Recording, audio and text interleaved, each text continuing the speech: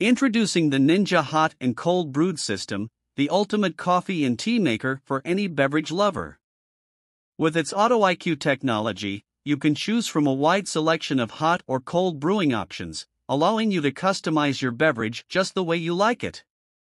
With 5 brew styles and 6 brew sizes, this system can make anything from a single cup of coffee to a full carafe, all with just the touch of a button.